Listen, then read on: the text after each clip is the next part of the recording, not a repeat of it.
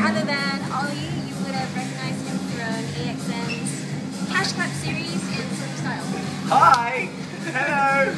I'm on the internet. This is great. nice to meet you. Have a wonderful day. This is going good. We're going to be hosting together. It's been very exciting because I like to go crazy on stage and I hear you do too. So we're going to be having fun. And there's no drinking going on backstage because we're professionals and we have water. I'll cover the, it's the Johnnie Walker party, so I'll cover the logos. Johnnie Walker water. Drink responsibly. For this one, you can drink and drive. You looking forward to tonight? Yes, I am. What time is it? It's uh, 8.30. We have just five more hours to go, and then we get to sleep. It'll be awesome. What have you been up to? What have I been up to? I'm being a dad. I have two kids, and I'm losing weight. I'm training.